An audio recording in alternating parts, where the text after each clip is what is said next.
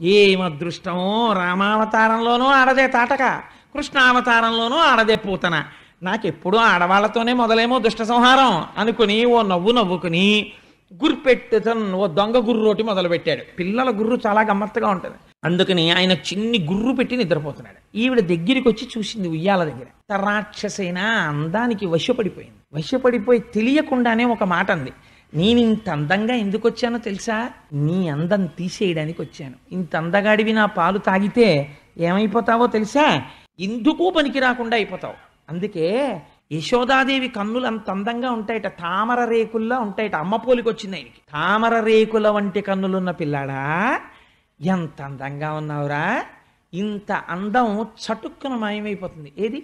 అని గబగబా ఉయ్యాలలో ఉన్న పిల్లాన్ని తీసుకుని ఒళ్ళో పెట్టుకుని స్తన్యం వాడి నోట్లో పెట్టబోతోంది. ఇక్కడో లోపల పని చేసుకుంటున్నారు రోహిణి యశోదాదేవిని. వాళ్ళు చూశారు. చూసి అయ్యయ్యో అదేమిటమ్మా? మా పిల్లవాడికి పాలిస్తున్నావు అలా ఇవ్వకు మా పిల్లవాడు. అన్య స్త్రీల యొక్క క్షీరమును స్వీకరించాడు. ఆగు ఆగంటున్నారు. ఆవిడ స్తన్యమంతా విషమే. కాబట్టి ఒక్కసారి ఆ విషాన్ని పిల్లవాడి నోట్లో పెడితే చాలు అనుకుంది. అని గబగబా పిల్లవాడిని తీసి ఒళ్ళో పెట్టుకుని వాడి ముఖం ఇలా ఇలా తిప్పి ఎలా అయినా సరే ఆ స్తన్యం నోట్లో పెట్టే ప్రయత్నం చేస్తాను. ఈయన ఎంత తెలివితేటలైన ప్రయత్నం చేశాడంటే పోతన గారు లైవ్ టెలికాస్ట్ ఇచ్చారండి. జీవితంలో ఒక్కసారి ఇక్కడ అలా దర్శనం అయితే చాలు పాపాలు విరిగిపోతాయని. బాగా నిద్రపోతున్న పిల్లాన్ని ఏమీ తెలియని వాళ్ళ ఆవలించాడు ఇలా చూశాడు మళ్ళీ నిద్ర వచ్చేసిన వాళ్ళ ఇలా కళ్ళు మూసేశాడు ఇలా పడుకున్నాడు మళ్ళీ కళ్ళు విప్పాడు. అబ్బా తాగక తప్పదా అన్నట్టుగా చూసి ఏంటమ్మా ఈ పాలు తాగడం నిద్రలో? అని విసుక్కుని అయినా తాగడం అలవాటైపోయిన వాళ్ళ అమ్మ స్తన్యం తాగినట్టే ఆ స్తన్యాన్ని తన బుజ్జి బుజ్జి వేళ్ళతో ఇలా పట్టుకుని గుటుకు గుటుకు మనుచు. గుటుక్ గుటుక్కమని వినపడిందిట. పిల్లలు చాలా గమ్మత్తుగా ఉంటుంది. వాళ్ళకి తెలిసి తెలియక మంచి గాఢ నిద్దట్లో తాగుతుంటే అని గుట్టక వినపడుతుంది. అలా ఆ గుట్టుకు గుట్టుకు మనుచు పోతన గారు ఎక్కడ వరకు విన్నారో చూడండి. కృష్ణుడి కంఠంలోకి దిగుతున్న పూతన పాలని విన్నారాయన గుట్టుకు గుట్టుకు మనుచు గుండెలలో ప్రాణాల దగ్గర నుంచి ఆవిడ శరీరంలో ఉన్న శక్తినంతటిని లాగేశారు లాగించారు రెండు కుక్కల్లో. ఇప్పటి వరకు తాగు తాగు అండమే తప్ప వదులు వదులు అనడం ఆవిడికి తెలియదు. ఇప్పుడు ఈవిడేమంటోంది వదలరా బాబోయ్ వదలరా బాబోయ్ అంటోంది ఆవిడే. పట్టి విడువరాదు నా చేయి పట్టుకుంటే వదులుతాడైనా? తాగేశాడు. తాగేయగానే ఆ కామరూపం పోయి పోయి ఒక్కసారి గిర్ర గిర్ర గిర్ర గిర్ర గిర్ర తిరుగుతూ ఆ నెత్తురు కక్కుతూ భయంకరమైన శరీరంతో పదమూడు కిలోమీటర్లు అండి పూతనా శరీరం. అంత పెద్ద శరీరం. పదమూడు కిలోమీటర్ల దూరం ఎంత ఉంటుందో అంత పెద్ద శరీరంతో వచ్చి నెత్తురు కక్కుతూ నేల మీద పడిపోయింది. పడిపోయేటప్పుడు ఒక గమ్మత్తు జరిగింది. కన్యపానం చేస్తున్నటువంటి కృష్ణుడు ఆవిడ గుండెల మీద ఉన్నాడు. ఆ గుండెల మీద ఉన్న కృష్ణుడిని అలాగే చేతులతో పట్టుకుని గిరగిరగిరగిర గిరగిర తిరిగి పడిపోయింది. ఆ చచ్చిపోవడంలో ప్రాణాలు శక్తి లాగేశారేమో కళ్ళు వెనక్కి వెళ్ళిపోయాయి వాళ్ళ ఆ పిల్లాడిని ఎత్తుకుని భుజం మీద పడుకోబెట్టుకుని ఎంత అదృష్టమమ్మా పిల్లాడు బతికాడు అనుకుని కిందకి దిగి అయ్య బాబోయ్ కానీ ఇంత పెద్ద శరీరంతో ఈ రాక్షసి తిరుగుతూ కింద పడిపోతే పిల్లాడు భయపడ్డాడేమో ఆయనకా భయం. భయకృద్భయనాశన అని పేరు ఆయనకి వీళ్ళు అనుకుంటున్నారు ఎంత పిచ్చి వాళ్ళో చూడండి ఇది పరమభక్తి అంటే. తెలియాలా కృష్ణుడని? తెలియక్కర్లా. తెలియకపోయినా వస్తువుని ప్రేమించారు గట్టెక్కిపోయారంతే వసుదేవుడు మధుర వెళ్ళాడు. దేనికి అంటే కంసరాజుకి ఈయన సామంతుడు. కాబట్టి కప్పం కట్టాలి ప్రతి ఏడాది. ఆ కప్పం కట్టడం కోసమని ధనాన్ని తీసుకుని వెళ్ళి కంసుడికి కప్పం కట్టేసి మధురలోనే ఉన్నాడు కదా అని వసుదేవుడిని చూడ్డానికి వెళ్ళాడు.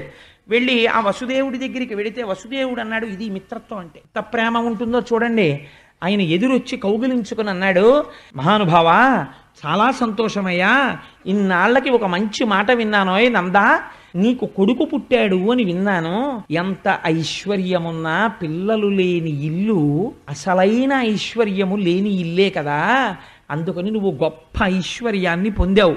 నేను చాలా సంతోషిస్తున్నాను అన్నాడు. అంటే మిత్రత్వం అంటే ఎలా ఉంటుందో చూడండి. వసుదేవుడు అన్నాడు నిజమేనయ్యా నువ్వు చాలా గొప్ప మాట్లా మాట మాట్లాడావు. నేను కప్పం కట్టడానికి వచ్చి నిన్ను చూసి పోదామని వచ్చాను. నీకు పుట్టారు ఆరుగురు కుమారులు. కానీ ఆరుగురిని దుష్టుడైన కంసుడు సంహరించాడు. ఆయన అన్నాడు ఆరుగురు పిల్లల్ని కంసుడు సంహరించాడు. ఏడవది ఆడపిల్ల.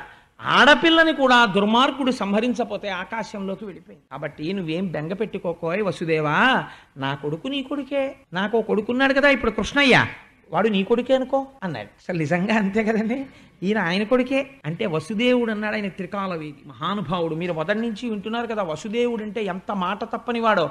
ఆ అనుష్ఠాన బలం నుంచి వస్తుంది ఆయన. ఓ మాట అంటే అది సత్యమయ్యే శక్తి. అది అన్ని అన్ని సార్లు పణం పెట్టరు. కొన్ని కొన్నిసార్లు అనుగ్రహం కలిగితే పణం పెడతారు. అందుకని ఆయన అన్నాడు నువ్వు కప్పం కట్టావు నన్ను చూడ్డానికి వచ్చావు. చాలా బాగుంది అక్కడ వరకు. కానీ నందవ్రజంలో ఉత్పాతములు జరగబోతున్నాయి. నువ్వు తొందరగా బయలుదేరి నందవ్రజానికి వెళ్ళిపో. ఎందుకని ఆయనకి తెలుసు కంసుడు కృష్ణుణ్ణి పరిమార్చాలని ప్రయత్నిస్తున్నాడు. గబగబా బయలుదేరి వచ్చేస్తున్నాడు. వచ్చేస్తుంటే ఈ రాక్షసి యొక్క శరీరం పడిపోయింది. పోతనగారంటారు అంటారు ఇంకా చంటి పిల్లాడు నిన్న పుట్టినవాడు ఇవాళ పూతనని సంహరించాడు. ఎంత కష్టమో అని మీరు బెంగపెట్టుకుంటున్నారేమో విష అంటే విషమును ధరించినటువంటి పాములకు శత్రువైన గరుత్మంతుండి తన వాహనంగా పెట్టుకున్నవాడికి కంఠమునందు హాలాహలమును నిలుపుకున్నటువంటి మహాపురుషుడైన పరమశివుని యొక్క స్నేహితుడికి. తేది తామర పువ్వు తామర పువ్వులోంచి పుట్టినవాడు బ్రహ్మ. ఆ బ్రహ్మగారికి తండ్రి అయినవాడు.